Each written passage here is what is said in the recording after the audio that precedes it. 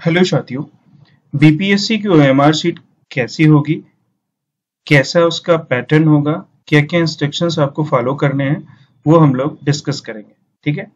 Question paper booklet के बारे में हमने आपसे प्रीवियस वीडियो में डिस्कस किया था कि कैसे होगा, वो चीज़ आपको देखना है। देखिए, मैं आपको यहाँ पे प्राइमरी की जो ओ सीट है, उसके बारे में डिस्कस कर रहा हूँ। यहाँ पे आपका नाम होगा, यहाँ पे आपका ओ सीट का सीरियल नंबर होगा, ठीक है? यहाँ पे आपको अपना रोल नंबर फिल करना है रोल नंबर फिल करना है और उसकी प्रॉपर बबलिंग करनी है। Date of birth D D M M Y Y Y Y format पे भरना है। प्राथमिक प्राइमरी पेपर का जो मेन सब्जेक्ट होगा जनरल स्टडीज़ वो यहाँ पे आपको फिल करना है। और जो क्वेश्चन बुकलेट पेपर सीरीज़ है, वो यहाँ पे आपको A B C D fill करना है बॉक्स में। उसके बाद सेम आपको बबल कर देना है, ठीक है? अब देखिए, आपके पास नंबर ऑफ़ क्वेश्चंस कितने होंगे? 120 होंगे, ठीक है? जनरल स्टडीज़ आपका यहाँ पे पूछा जाएगा, ठीक है? तो आपके पास एक ऑप्शन में, एक क्वेश्चन पेपर क्वेश्चन में आपके पास फाइव ऑप्शन होंगे, ठीक है? ए बी सी डी ई आपके पास नेगेटिव मार्किंग भी है। तो आपको अप्रोप्रिएट क्वेश्चंस जो आपको सही लगता है, जिसमें आपको 60 परसेंट या 50 परसेंट से ज़्यादा ऑप्शंस आपको करेक्ट लगते हैं, उसको आपको इस तरीके से फिल करना है। बिहार स्कूल टीचर एग्जामिनेशन बहुत इंपॉर्टेंट एग्जामिनेशन है।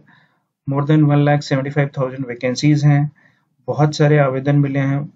दस से बारह लाख लोगों ने अप्लाई किया है। प्राइमरी में कंपटीशन का लेवल बहुत ज़्यादा है। लगभग nine one is to nine का कंपटीशन है। अगर मैं आपको बात करूँ हायर सेकेंडरी में तो हायर सेकेंडरी में लगभग सेवेंटी परसेंट सीटों के रिस्पेक्ट सेवेंटी कितनी सीटें हैं उसमें सेवेंटी परसेंट लोगों ने फॉर्म फिल किया है।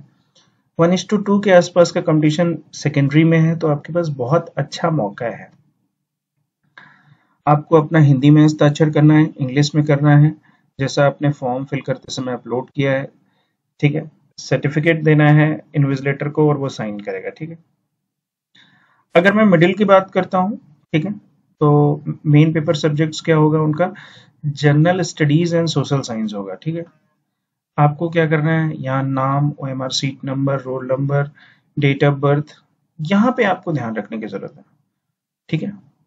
पार्ट टू में आपको सेलेक्ट करना है, यहाँ पे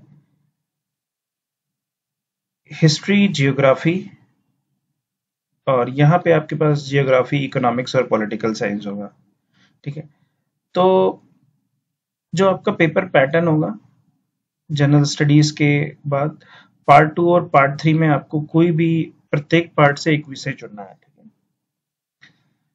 तो यहाँ पे आपको ध्यान रखना है, अगर आपने यहाँ जियोग्राफी चूज़ कर लिया तो यहाँ पे जियोग्राफी चूज़ नहीं करेंगे। यहाँ पे फिर आपको इकोनॉमिक्स या पॉलिटिकल साइंस चूज़ करना है, ठीक है? तो ये चीज़ आपको ध्यान रखने की ज़रूरत है। यहाँ पे भी आपके पास पार्ट वन जनरल स्टडीज़ में फोर्टी क्वेश्चन होंगे, ठीक है। मैं सेकेंडरी की बात कर रहा हूँ सिक्स टू एट के जो टीचर्स का सिलेक्शन होगा। पार्ट वन में आपके पास जनरल स्टडीज़ होगा, जिसमें फोर्टी क्वेश्चन होंगे। पार्ट टू में चयनित विषय हिस्ट्री या जियोग्राफी का उत्तर दें, ठीक है। हिस्ट्री या जियोग्राफी का उत्तर दें, ठीक है। और, फिर आपके पास जो पार्ट थ्री है, यदि पार्ट टू में नहीं लिया गया हो चयनित विषय जियोग्राफी यदि पार्ट टू में नहीं लिया गया तो इकोनॉमिक्स पॉलिटिकल साइंस का उत्तर दें, ठीक है? तो यहाँ भी फोर्टी क्वेश्चन आएँगे। Forty question part one forty forty question आपके जनरल स्टडीज़ के आएँगे। फोर्टी क्वेश्चन में आपका हिस्ट्री या जोग्राफी सेकेंड पार्ट में आपका हिस्ट्री या जोग्राफी होगा, उसके भी फोर्टी क्वेश्चन होंगे।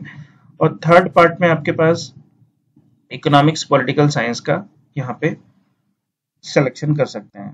मीन्स एक एक ही आपको लेना है, ठीक है? फिर यहाँ पे आपका साइन होगा। हिंदी और इंग्लिश में, और यहाँ पे आपका सर्टिफिकेट इन्विजिलेटर साइन करके देगा आपको, ठीक है? और ये पेपर आपका क्वालिफाइंग नेचर का होगा क्वालिफाइंग नेचर का जो पेपर होगा, उसको आपको कैसे देखना है, ठीक है? तो यहाँ पे आपके पास,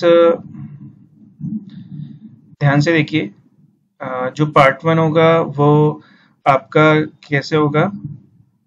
क्वेश्चन नंबर वन से लेके ट्वेंटी फाइव तक आपका क्या होगा? इंग्लिश लैंग्वेज का पेपर होगा, ठीक है? कंपलसरी होगा सबके लिए। और पार्ट टू में आपके पास कौन सा पेपर होगा? हिंदी, उर्दू और बंगाली हो सकता है, ठीक है? पार्ट टू में आपको एक ही देना है। सेवेंटी फाइव क्वेश्चन होंगे। चाहे वो हिंदी आप लेते हैं, चाहे उर्दू लेते हैं, चाहे बंगाली लेते हैं, वो आपको यहाँ से सेवेंटी फाइव क्वेश्चन सेलेक्ट करने हैं, जो भी आपने फॉर्म में फिल किया है। तो ये क्वालिफाइंग नेचर का है बट यहाँ भी निगेटिव मार्किंग है तो आप लोगों को केयरफुली ध्यान रखना है, ठीक है? अब, ये हमने आपसे डिस्कस कर लिया ठीक है? जो माध्यमिक पेपर है, उसका जो मुख्य विषय होगा, वो आपको यहाँ पे नोट डाउन करना है, और पार्ट वन हमारा जनरल स्टडीज़ का होगा ही और पार्ट टू में आपको एक ही सब्जेक्ट चूज़ करना है। ठीक है? एक ही सब्जेक्ट चूज़ करना है। तो यहाँ पे देखिए Hindi Bengali Urdu Sanskrit Arabic Persian English science और मैथमेटिक्स इतने सब्जेक्ट्स के लिए आपका एग्जामिनेशन होगा। ठीक है? और सेकेंडरी uh, का जो मेन पेपर सब्जेक्ट होगा वो आपके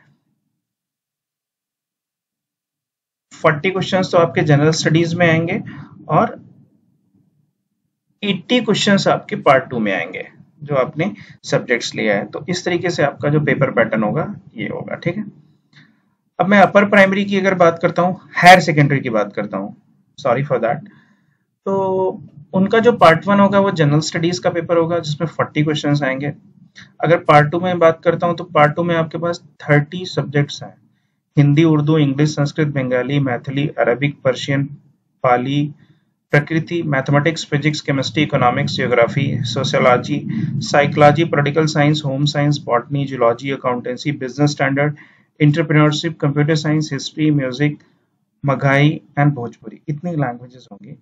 देखिए फोर्टी क्वेश्चन तो आपके जनरल स्टडीज़ के आएँगे और वन ट्वेंटी क्वेश्चन आपके मेन सब्जेक्ट्स के आएँगे। ठीक है? जो भी सब्जेक्ट्स आपने लिया तो इस तरीके से आपका जो पेपर पैटर्न होगा, उसके according O M R sheets design की गई हैं। आपको properly O M R sheets को फिल करना है। फिल करने के बाद आपको बबलिंग केयरफुली करनी है। गलत बबल्स या एक ही कॉलम की दो बबल्स में आपका बबलिंग ना हो जाए, ये चीज़ का ध्यान रखना है। ये एग्जामिनेशन डायरेक्टली आपकी जॉब को इफ़ेक्ट करेगा, आपका सिलेक्शन होगा। आपकी सैलरी बहुत सारे लोग इसको रबड़ से इरेज करने की कोशिश करते हैं कट करने की कोशिश करते हैं टीयर करने तो उस केस में आपका इवेल्युएशन नहीं होगा और आपका कैंडिडेचर रिजेक्ट हो जाएगा। ठीक है? तो ये ओ एम सीट्स का डिस्कशन है। ऑफिशियल साइट्स पे ये डिस्कशंस बीपीएससी की साइट्स में ये देखिए, यहाँ पे है। BPSC dot B I S dot N I C dot in वहाँ से हमने ये आपकी डायरेक्ट इन्फॉर्मेशन शेयर की है। आप लोग सीरियसली इसको प्रिंट आउट करके इसकी प्रैक्टिस कर लीजिए। एग्जामिनेशन से पहले कम से कम 15 से 20 मॉक टेस्ट आप ज़रूर अटेम्प्ट करिए, जिससे आपका सिलेक्शन होने के चांसेस बढ़ जाते हैं। हम अपने चैनल के माध्यम से ये सारी अपडेट्स आपको देते हैं। अगर आपको ये इन्फॉर्मेशन अच्छी लगी हो तो चैनल को सब्सक्राइब करना मत भूलिएगा और बेल आइकन को प्रेस करना मत भूलिए, जिससे आपको लेटेस्ट अपडेट्स मिलती रहे। कोई क्वेरी हो तो कमेंट करके ज़रूर पूछिए, हम आपको उसका जवाब ज़रूर देंगे। तो ये इन्फॉर्मेशन हम आपको सीधे पटना से शेयर कर रहे हैं। बीपीएससी की हर अपडेट हम आपको शेयर करते हैं।